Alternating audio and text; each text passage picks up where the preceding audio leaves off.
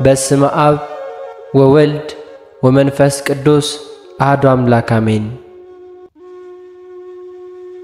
በመጀመሪያም በክርስቶስ ክርስቲያን በወልድ ውሉድ በመንፈስ ቅዱስ መንፈሳውያን የተሰኛችሁ የክርስቶስ ቤተሰቦች የእናታችን የቅድስት ድንግል ማርያም የአስራት ያደራ ልጆች በወደደንና ባፈቀረን በጌታችን በአምላካችን በመድኃኒታችን በኢየሱስ ክርስቶስ ፍጹም ሰላምታ ሰላም ላችኋለሁ።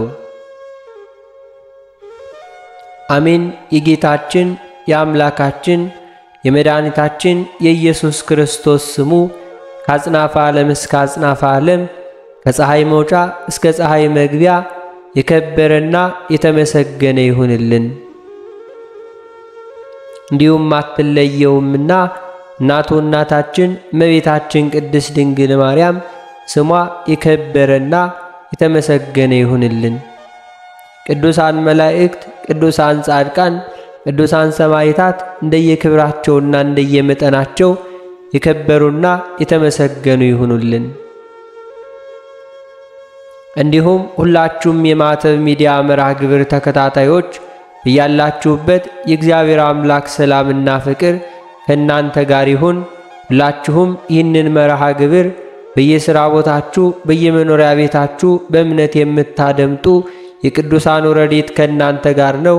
እንዲሁም ከጠላታችን ከዲያብሎስ እስራት እንፈታለን፣ ከያዘንም ደዌ እንድናለን። ሁላችሁም የማዕተብ ሚዲያ መርሃ ግብር ተከታታዮች በሀገር ውስጥም በሀገር ውጭም ያላችሁ ይህንን መንፈሳዊ ቻናል ሁልጊዜ በየዕለቱ ሳትሰለቹ like፣ subscribe በማድረግ እንዲሁም ለሌሎች እህቶችና ወንድሞች በማዳረስ share እያደረጋችሁ መንፈሳዊ ግዴታችሁን ስለተወጣችሁ የቅዱሳኑ በረከት ይድረሳችሁ፣ አሜን። እንዲሁም የየዕለቱን መርሃ ግብሮች ሁልጊዜ ስለምንለቅ ወደ ቻናላችን በመግባት የምታገኙ መሆኑን እንገልጻለን።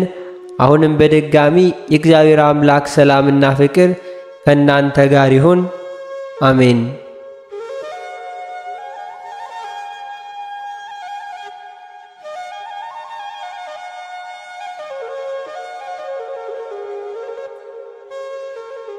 እንኳን ለአዲሱ ዓመት ለ2017 ዓመተ ምህረት እንዲሁም ለእናታችን ለቅድስት በዓታ ለማርያም ወርሃዊ መታሰቢያ በዓል እንዲሁም በዚህች ዕለት ታስበው ለሚውሉ ቅዱሳን ወርሃዊና ዓመታዊ መታሰቢያ በዓላቸው በሰላም አደረሳችሁ አደረሰን።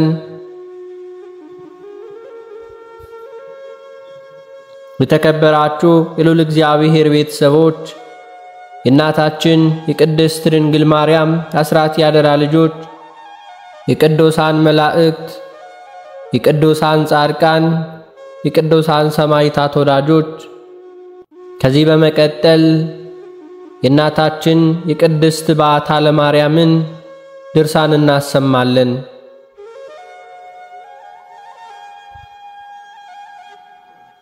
በስመ አብ ወወልድ ወመንፈስ ቅዱስ አሐዱ አምላክ አሜን።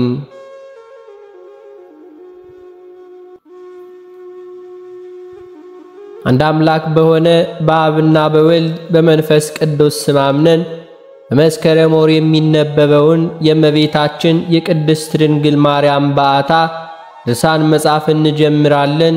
ጸሎቷና በረከቷ አማላጅነቷ የልጇም ቸርነት ከሁላችን ጋር ይሁን ለዘላለሙ አሜን። ቅድስት እናታችን በዓታ ለማርያም ይህች ብላቴና ሁለት ዓመት በሆናት ጊዜ ኢያቄም አስቀድመን እንደ ተሳልን ወደ ቤተ መቅደስ እንውሰዳት፣ እግዚአብሔር በእኛ ላይ እንዳይቆጣም አለ። አንድ ዓመት ያህል ታገስ፣ ስለ እናቷና ስለ አባቷ እንዳትጨነቅ አለች።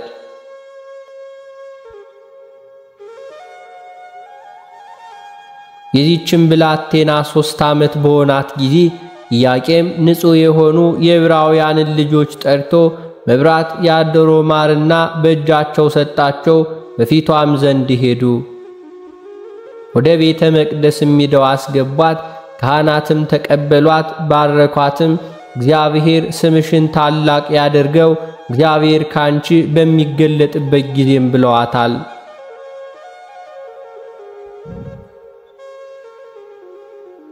ከዚህም በኋላ ካህናቱ ይዘዋት ከቤተ መቅደስ ከሦስተኛው መውጫ ዘንድ አስገቧት። ካህናቱ የእስራኤል ልጆች ሁሉ ባረኳት፣ እሷን አመሰገኗት። እግዚአብሔርም በእርሷ ላይ ታላቅ ደስታ አሳደረ።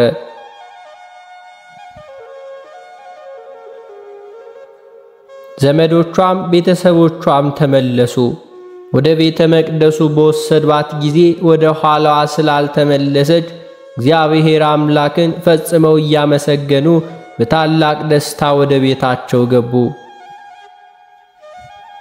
እመቤታችን ማርያም በእግዚአብሔር ቤተ መቅደስ እንደ ንጹሕ ርግብ ተቀመጠች። የእግዚአብሔር መልአክም ምግቧን ዘወትር ያወርድላት ነበርና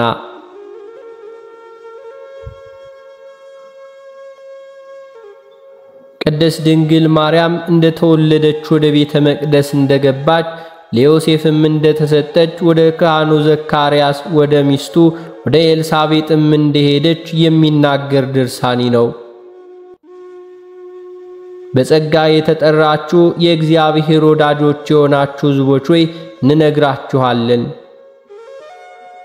የቅድስት ድንግል ማርያም ዜናዋን እንገልጥላችኋለን። በዚህች ወራት ከይሁዳ ወገን የሚሆን የእስራኤል አራተኛ ልጅ ስሙ ኢያቄም ቀለጴዋ የሚባል የእስራኤል ንጉሥ የዳዊት ወገን የሆነ አንድ ሰው ነበር። ሐናም የምትባል ሚስት አገባ።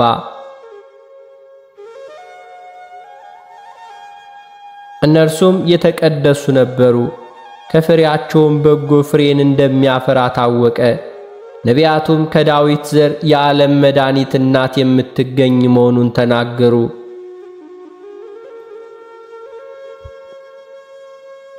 ነቢዩ ዳዊትም በዘመኑ እንዲህ ሲል አሰምቶ ተናገረ። ልጄ ሆይ ስሚ፣ ጆሮሽንም ሁሉ አድምጭ፣ ወገንሽንም እርሽ። ንጉሥ ክርስቶስ ደምግባትሽን ቅድስናሽን ወዷልና እርሱም ጌታሽ ነውና። ስለ ቅድስት ድንግል ማርያም ከብዙ ዘመን በፊት ዳዊት የተናገረውን ሁሉ አስተውሉ። ነውር ስለሌለባት ስለ እርሷ ነቢያቱ የተናገሩላት እንደማይዘገይም እወቁ።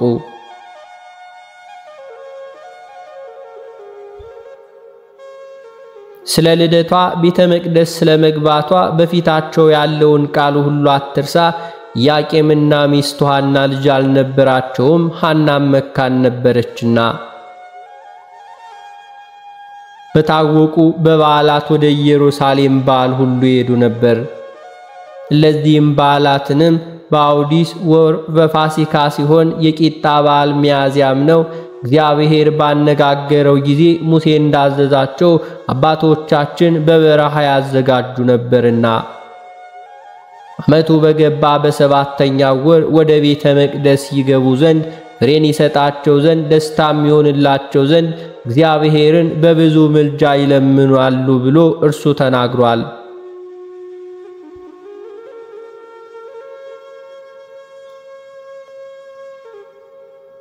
ስሙ ዘካርያስ የሚባል በእግዚአብሔር ፊት የሚያገለግል በኢየሩሳሌም አንድ ሰው ነበር። ከያዕቆብ ጀምሮ ሦስተኛ ትውልድ ነው። ሚስቱም ከአሮን ወገን ናት። ስሟም ኤልሳቤጥ ትባላለች። በይሁዳ ተራሮችም ሁሉ ይኖሩ ነበር። እግዚአብሔር የነዌ ልጅ ኢያሱን ከአሥራ ሁለት ነገደ እስራኤል ምድርን ከፈለ። እዚያም ዘንድ ለካህናቱም በየሀገሩ አንድ ሀገር በመካከላቸው ሁሉ ይሰጣቸዋል፣ አገልጋይም መሆናቸው የሆናቸው ዘንድ ነውና። ሁለቱም የዮሴፍ ልጆች አንዱ የኤፍሬም አንዱ የምናሴ ወገን ሆነዋልና።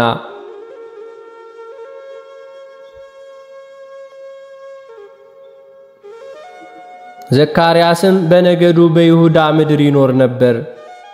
በኢየሩሳሌም ቤተ መቅደስ ከካህናት ወገን ሁሉ ይቆጠር ነበር።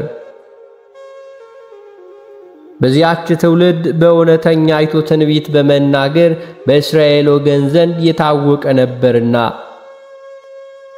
የቀደሙ አባቶቻችን እንደሰሩበት በእግዚአብሔር ታቦት ፊት ሐሳባቸውን ይፈጽሙ ዘንድ ወደ ኢየሩሳሌም ይሄዱ ነበር።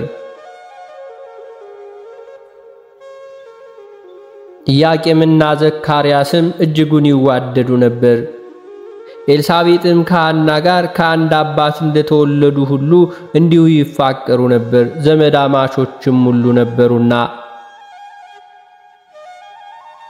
ሁለቱም ሲገናኙ ልጅ መውለድ ስለተሳናቸው ሁለቱ ይነጋገራሉ። በዚህም ጉዳይ ስላገኛቸው ነገር ብዙ ይባባሉ ነበር። በኋለኛው ዘመን እግዚአብሔር አስደሰታቸው፣ መልካም ፍሬንም ሰጣቸው። እኛም እግዚአብሔርን ተስፋ እናድርግ፣ እኛም መልካሙን ነገር እንደሚወደደው ሁሉ እንስራ፣ ፈቃዱ ይሆናልና።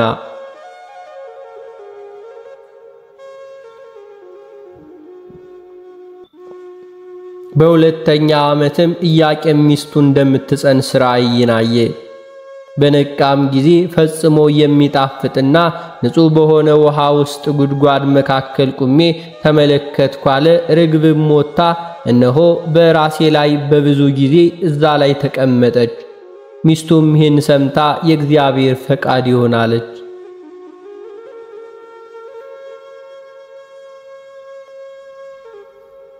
በሌላኛዋም ቀን ሐና በውሃ ጉድጓድ ቁማ ተመለከተች።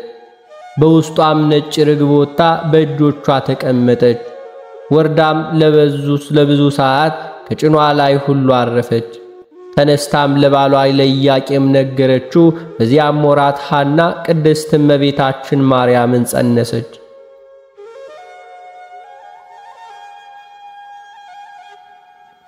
በዚያም ወር ዕብራውያን የቂጣ በዓል ያደርጉ ነበር። ኢያቄምና ሚስቱ ወደ ኢየሩሳሌም ሄዱ። ወደ ቤተ መቅደሱም ሁሉ ገቡ። ሐናም ብትጸልይ በዛ ብቻዋን ቆመች። ሕዝቡ ሁሉ ሴቶች ወንዶችም በጸሎት በዛ ቆመው ይተጉ ነበር። የእግዚአብሔር መልአክም በሚያስፈራ ሰው አምሳል ለሐና ተገለጠላት።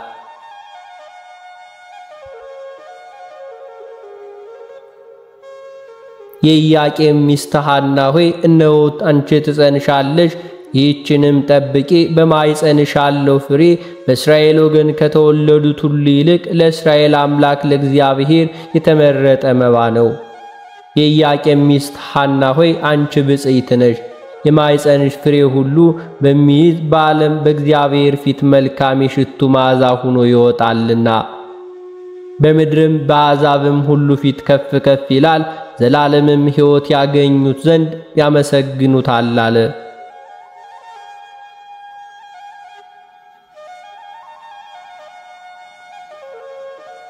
ካህናቱም ጸሎታቸውን ከፈጸሙ በኋላ እንደሚገባቸው ሕዝቡን ይባርኩ ዘንድ ቆሙ። ኢያቄምና ሚስቱ ሐናም ይባረኩ ዘንድ መጡ። ዘካርያስም ሐና እንደ ጸነሰች አስተዋለ።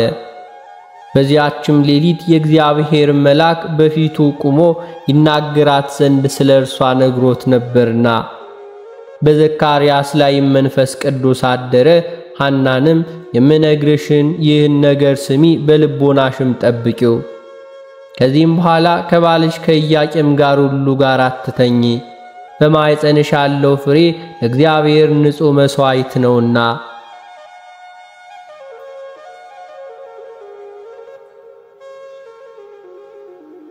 ይኸውም በዚያን ዘመን ሙሴ የተመለከተውን ዕፅ እንጨት እርሱ ነው። በውስጥም እሳት ይነድ ነበረ፣ ፍሬውም ሁሉ አላቃጠለውም። ይህ በበረሃው ድንኳን ውስጥ ያስቀመጡት የወርቅ መሶብ ከሰማይ እየወረደ ለዓለሙ ሁሉ ሕይወትን የሚሰጥ የተሰወረ መና ያለበት ነው።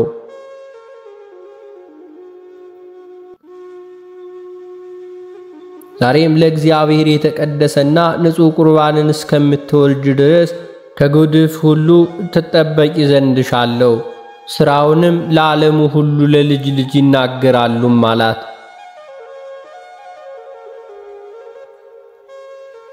ብፅዕታናም ይህንን ነገር ከዘካርያስ ከሰማች በኋላ ራሷን ዝቅ አድርጋ ከእርሱ በረከት ተቀብላ ወደ ቤታቸው ተመለሱ። ይህንን ነገርም ጠበቀችው፣ አስተዋለችው።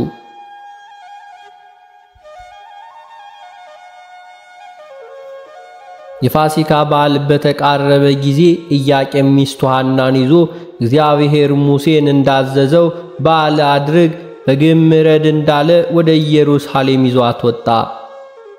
በኢየሩሳሌም ተቀመጡ፣ በዓልንም ሁሉ አደረጉ። ከዚህም በኋላ ወደ ሀገራቸው ተመለሱ። ሐናም ትወልድ ዘንድ ዘጠኝ ወር ሆናት።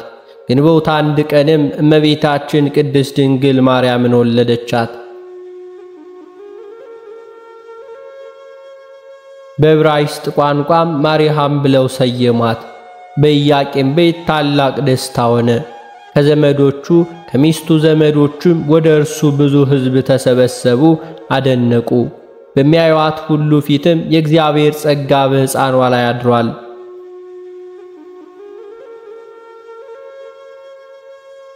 ሐናና ኢያቄምም በሕልማቸው ስለታያቸው ርግብ ካህኑ ዘካርያስም ለእግዚአብሔር መባ የእጅ መንሻ እንደምትሆን የነገራቸውን አሰቡ። ንጹሕ የተቀደሰች የዓለምን ፈጣሪ ሁሉ የምትወስን ንጹሕ መሥዋዕት የሆነች ልጅን ስለሰጣቸው ፈጽመው ተደሰቱ፣ እግዚአብሔርንም አመሰገኑ። ከዚህም በኋላ በውሃ ታጥባት ዘንድም ጠራቻት። በፊቷም የእግዚአብሔር ጸጋ ሞልቶባት ተመለከተች።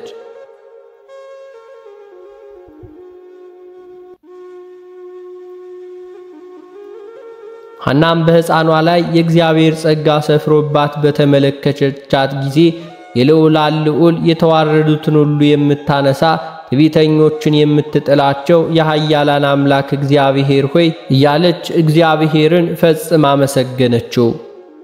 አንተ የአባቶቻችን አምላክ ነህ፣ ሐዘኔንም ተመልክተህ በዚህ ደም ግባት የተሸለመች ያሸበረቀች መልካም ፍሬ የሰጠኝ አንተ ነህ።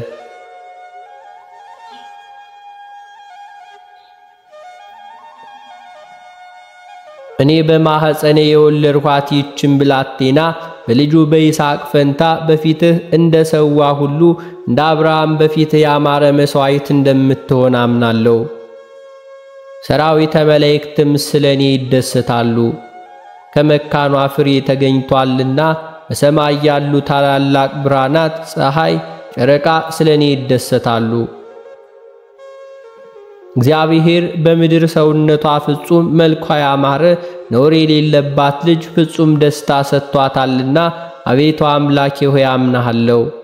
ዘካርያስ ስለ እርሱ እንደተናገረ መባ የእጅ መንሻ በፊት የተመረጠች የመንፈስ ቅዱስ ማደሪያ ትሁን። እኔም የምታድግበት ጊዜ በሕይወት ዘመኗ ሁሉ አገልጋይ ትሆን ዘንድ ወደ ቤተ መቅደስ ወደ ኢየሩሳሌም አስገባታለሁ አለች።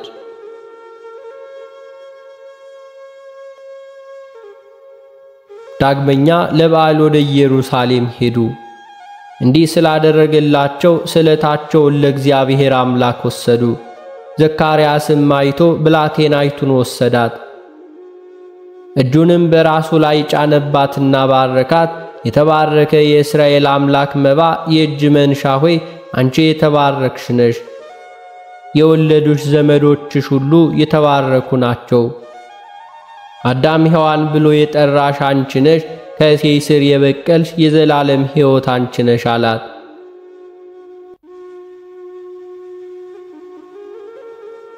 እናቷንም በእግዚአብሔር ፊት ሞገስ አግኝተሻል፣ ይህች ልጅሽ በእግዚአብሔርና በሰው ዘንድ የተባረከች ትሆናለች፣ ስሟንም ለልጅ ልጅ ፈጽመው ያመሰግኗታል። ሦስት ዓመት እስኪፈጸም ድረስ ካህኑ ስለነገራቸው እግዚአብሔርን እያመሰገኑ ወደ ሀገራቸው ገቡ።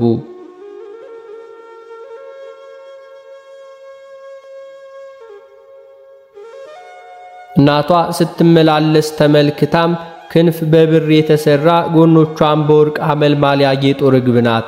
የዐይኖቿ ብርሃን የአጥቢያ ኮከብን ይመስላል አለች።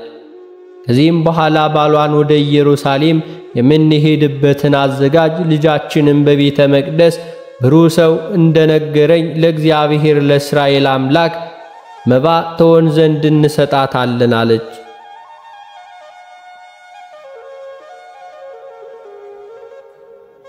ይልቁንም ካህኑ ለእስራኤል አምላክ የተቀደሰ የተመረጠ መባ እንደምትሆን ስለ ልጃችን ነግሮናልና ስለ ልጃቸው ለካህናቱ ያቀርቡ ዘንድ በግ ሁሉ አመጣ። የሚያስፈልገውን ሁሉ አዘጋጀ። ወደ ኢየሩሳሌም ሄዱ። ለእግዚአብሔር መባ ትሆን ዘንድ ብላቴናቸውን ሁሉ እንዳመጡ ከሴት ጋር እንደሚያስቀምጧት ለካህናቱ ተናገሩ።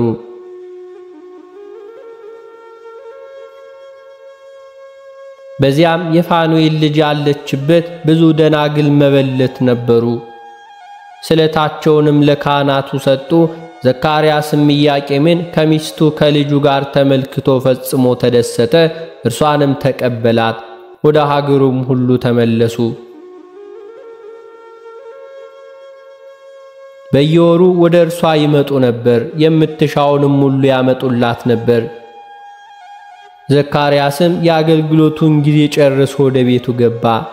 ስለ ኢያቄምም አንዲት ልጁን ከሴቶች ጋር ታገለግል ዘንድ ለቤተ መቅደስ እንዲሰጣት ለሚስቱ ነገራት። ሴቶችም ይወዷት ነበር። ባደገችም ጊዜ የእጅ ሥራን ሁሉ አስተማሯት።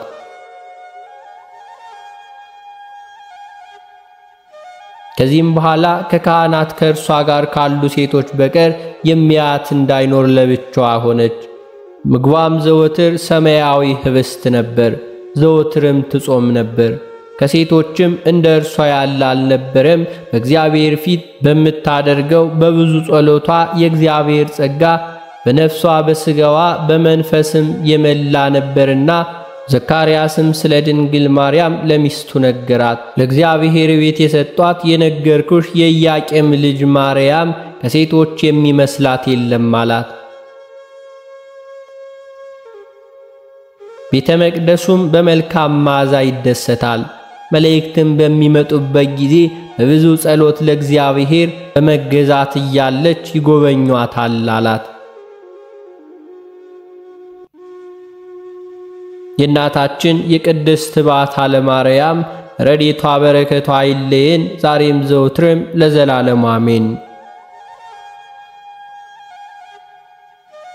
አባታችን ሆይ በሰማያት የምትኖር፣ ስምህ ይቀደስ፣ መንግሥትህ ትምጣ፣ ፈቃድህ በሰማይ እንደሆነች እንዲሁም በምድር ትሁን። የዕለት እንጀራችንን ስጠን ዛሬ፣ በደላችንንም ይቅር በለን እኛም የበደሉንን ይቅር እንደምንል፣ አቤቱ ወደ ፈተናም አታግባን ከክፉ ሁሉ አድነን እንጂ መንግሥት ያንተ ናትና፣ ኃይል፣ ክብር፣ ምስጋና ለዘላለሙ አሜን። እመቤታችን ቅድስት ድንግል ማርያም ሆይ በመልአኩ በቅዱስ ገብርኤል ሰላምታ ሰላም እንልሻለን። በሐሳብሽ ድንግል ነሽ፣ በሥጋሽም ድንግል ነሽ። አሸናፊ እግዚአብሔር እናት ሆይ ሰላምታ ላንቺ ይገባሻል። ከሴቶች ሁሉ ተለይተሽ አንቺ የተባረክሽ ነሽ። የማኅፀንሽ ፍሬ የተባረከ ነው። ጸጋን የተመላሽ ቅድስት ሆይ ደስ ይበልሽ፣ ሉል እግዚአብሔር ከአንቺ ጋር ነውና ከተወደደው ልጅሽ ከጌታችን ከመድኃኒታችን ከኢየሱስ ክርስቶስ ዘንድ ይቅርታና ምሕረቱን ለምኝልን ኃጢአታችንንም ያስተሰርይልን ዘንድ ለዘላለሙ አሜን።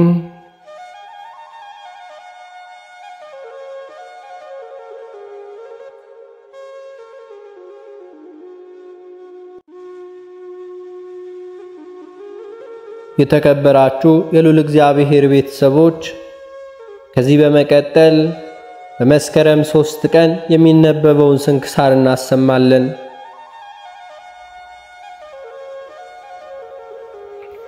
በስመ አብ ወወልድ ወመንፈስ ቅዱስ አሐዱ አምላክ አሜን። አንድ አምላክ በሆነ በአብ በወልድ በመንፈስ ቅዱስ ስም መስከረም ሦስት በዚች ቀን የከበረ አባት ሊቀ ጳጳስ አባ ዲዮናስዮስ ከተሾመ በሁለተኛ ዓመቱ በእስክንድሪያ ከተማ የኤጲስቆጶሳት የአንድነት ጉባኤ ተደረገ።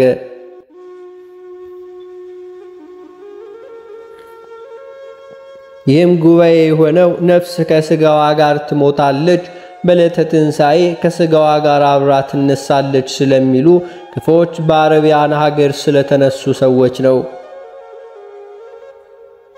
እነርሱም ለክፈኞች ብልሽ ለሆነች ሃይማኖታቸው የፈጠራ ድርሰትን ደርሰው በእስክንድሪያ ከተማ ወደሚኖሩ ሰዎች ላኩ።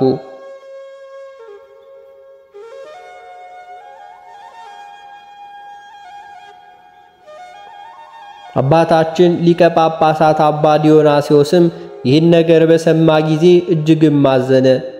ከዚህ ለክፉ ሥራ እንዲመለሱ አስተማራቸው፣ ገሰጻቸው። እነርሱ ግን አልሰሙም፣ አልተመለሱም። ስለዚህም በእነርሱ ላይም ይህንን ጉባኤ ተሰብስቦ ተከራከራቸው፣ ስህተታቸውንም ገልጾ አስረዳቸው። እነርሱ ግን ሰይጣን አሳውሯቸዋልና ተጸጽተው አልተመለሱም። ይህም ጉንን ጉባኤያቸውን ረግሞ ከቤተ ክርስቲያን አንድነት ለይቶ አሳደዳቸው። ይህም አባት ዲዮናስዮስ ለእርሳቸው ድርሳናት ደረሰ። በውስጣቸውም እንዲህ የሚል አለ እንጂ በቸርነቱ ስጦታ ውስጥ የእግዚአብሔር ፍቅር የጎላ የተረዳ ሆነ። ነፍስ ረቂቅ ስለሆነች እንደ መላእክትም በሕይወት እንድትኖር እንጂ እንደማትሞት እንደማትጠፋ ማድረጉ ነው።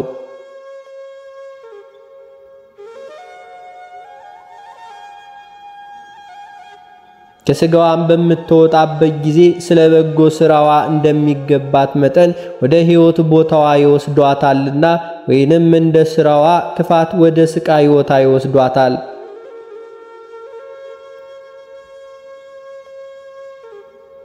በትንሣኤ ቀንም ንቃሕ መዋቲ ተብሎ አዋጅ ሲነገር በፈጣሪያቸው ትእዛዝ የሙታን በድኖች ሁሉ ሲነሱ ነፍሳትም እንዲሁ ይሆናሉ።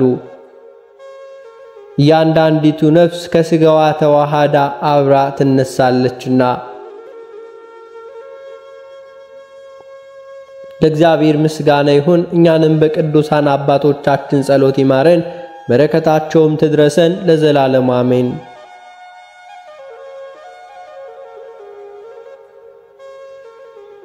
በዚህችም ቀን የገዳመ ሲሃት አባ ሙሴ አረፈ። ይህም ቅዱስ ከመነኮሰ ጀምሮ ዓለምን ትቶ በረሃ ገብቶ በጾም በጸሎት በመጠመድ ተጋደለ። እግዚአብሔርም ዘይቶንና የተምር አትክልት ያለበትን የአትክልት ቦታ በማየት ልቡ ብሩህ እስካደረገለት ድረስ በወሩ መባቻ ከዘንባባ እንጨትና ከዘይቶን የወደቀ ፍሬ ወስዶ ይበላል።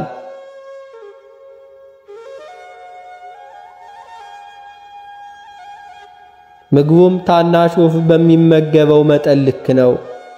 ልብሱንም ከዘንባባ ቅጠል የተሰራ ሰሌን ነው።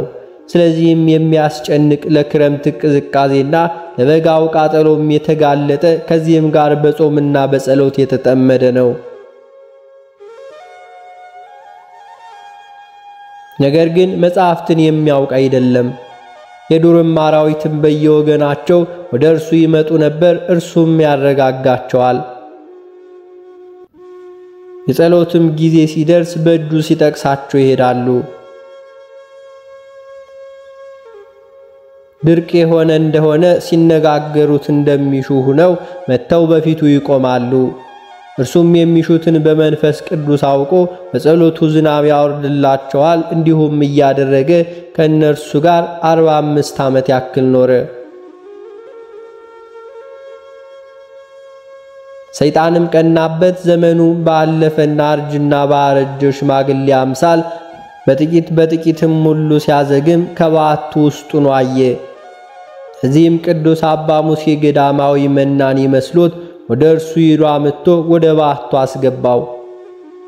አራዊቱ ግን በሽማግሌ የተመሰለውን ሰይጣን ባዩት ጊዜ ከእርሱ ዘንድ ሸሹ። ከዚህም በኋላ አባ ሙሴን አነጋገሩትና ሃይማኖቱን ሁሉ ጠየቀው። እርሱም ሁሉን ነገረው። ደግሞም አባ ሙሴ ኑሮው እንዴት እንደሆነ ሽማግሌው ጠየቀው። በሽማግሌ የተመሰለው ሰይጣንም እንዲህ ብሎ መለሰለት። እኔ በዓለም ኀጢአት በመስራት ብዙ ዘመናት ኖርኩኝ፣ አንዲትም ሴት ልጅ ወለድኩኝ። ከዚህም የዓለምን ኃላፊነቱንና ጠፊነቱን አሰብኩኝ። ከዓለምም ወጥቼ በበረሃ ውስጥ አርባ ዓመታት ኖርኩኝ።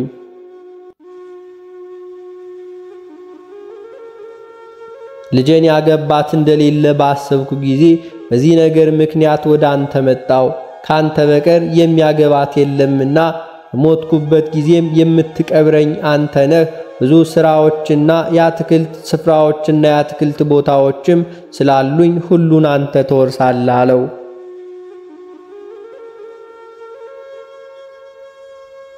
አባ ሙሴም ሰምቶ ደነገጠ። እኔ መነኩሴ ሲሆን ይህ እንዴት አደርጋለሁ አለ። የተመረጡ ጻድቃንስ ሲሆኑ ሚስቶቻቸውን የነበሩትን ኑሯቸውን አብርሃም ሙሴ ዳዊትን ከብሉያት መጻሕፍት ምስክር ማስረጃ አድርጎ ለእርሱ አመጣለት። ከዚህም ወደ ተንኮል ልቡ አዘነበለው።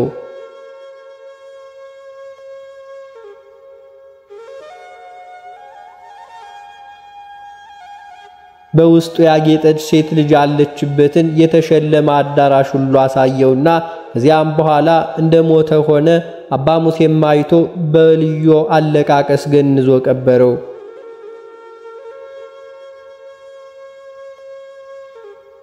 ልጅቷ ወዳለችበት ለመግባት በፈለገ ጊዜ ጥልቅ ነፋስ ነፍሶ የኋሊትም ጣለው። ከዚህም በኋላ ልቡ ሲመለስለት አዳራሹንም ልጅቷንም የአትክልት ቦታዎቹንም ሁሉ አጣ። ፈጽሞ እያደነቀ ወደ ማደሪያው ተመለሰ። ከእንጨቱም ፍሬ ምግብ ሊመገብ ፈለገ። በአፉም ውስጥ መራራ ሆነበት። በረሃብም ስለተጨነቀ ወደ ዱር ወጥቶ ሄደ። ከዚህም በኋላ በአህያ ላይ ተቀምጦ ወደ እስክንድሪያ በሚሄድ በሽማግሌ ነጋዴ አምሳል ሰይጣን ተገናኘው። መብልና መጠጥ ይዞ ነበርና አባ ሙሴን ከእርሱ ጋር ወሰደው። ወደ አንድ አገርም ወስዶ በሴት ጋር ተወው። ዳግመኛ ገዳማዊት በመናኒነት በምትኖር አምሳል ሰይጣን ታየው። እርሱም ውሃ የምትቀዳ መስላ ሥራውን ሁሉ ጠየቀችው። ሰይጣንም እንደፈተነው ሁሉ ነገራት። በልቧም ሳቀችበት። ወደ ቤቷም ወስዳ አብልታ ጠጥታ፣ ከዚያም በኋላ የጋብቻ ነገር አሳሰበችው። ብዙ ገንዘብም ሁሉ እንዳላት እርሷም የሟች ንጉሥ ሚስት እንደሆነች ነገረችው።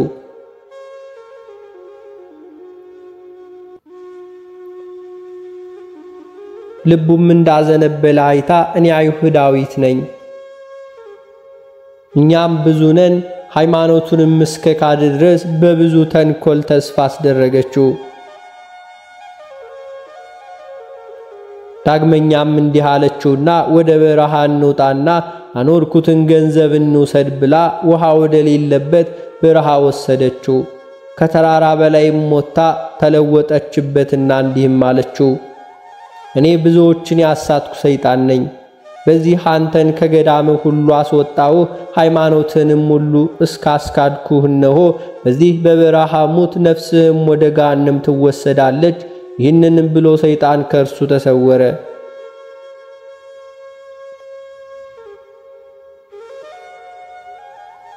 በተመለሰም ጊዜ በቀኝም በግራም መንገድ አጣ። የሚጠጣውም ውሃ አላገኘም። ምድርም ሁሉ ጠበበችው። በምድር ላይም ወድቆ በፊቱ ውስጥ አፈርን ሁሉ በተነ። ነፍሱም ከሥጋው ለመለየት እስከደረሰች ድረስ ተንከባለለ፣ ጮኸ። መሐሪና ይቅር ባይ ሰውን የሚወድ እግዚአብሔር አላለት። ያጽናናው ዘንድም መልአኩን ላከለት። እርሱም ኃጢአት ተሰረየለ እስከ ሰባት ቀንም ታርፋለ፣ የእግዚአብሔር አገልጋይ ሳሙኤልም ይቀብረሃል ብሎ አጽናናው። ሰላምታንም ሰጥቶ ታረገ።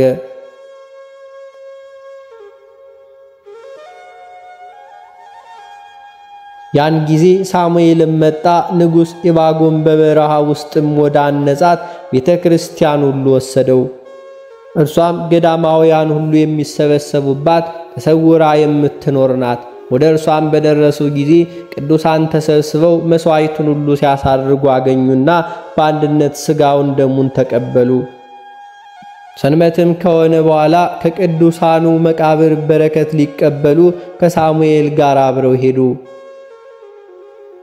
ከዚያም ደርሶ አባ ሙሴ ሰገደ፣ ወዲያውኑም አረፈ። አባ ሳሙኤልም ቀበረው፣ ገድሉንም ጻፈ። ለእግዚአብሔር ምስጋና ይሁን። እኛንም በሁሉም ቅዱሳን ጸሎት ይማረን፣ በረከታቸው የሚድረሰን ለዘላለም አሜን። በዚህችም ቀን የኢትዮጵያዊው የአባ ንህበስ የሰማይቱ የአባ ዲዮስቆሮስ ሰማይት የሆነው የሊቀ ጳጳሳት ዲዮናሲዎስ የዲያቆን በትህንከል የብዙዎች የፋርስ ሰማይታት የረፍታቸው መታሰቢያ ነው። በረከታቸው ከእኛ ጋር ትኑር ለዘላለም አሜን። አነሳስቶ ላስጀመረን አስጀምሮ ላስፈጸመን ለጌታችን ለአምላካችን ለመድኃኒታችን ለኢየሱስ ክርስቶስ ክብርና ምስጋና ይሁን ለዘላለም አሜን።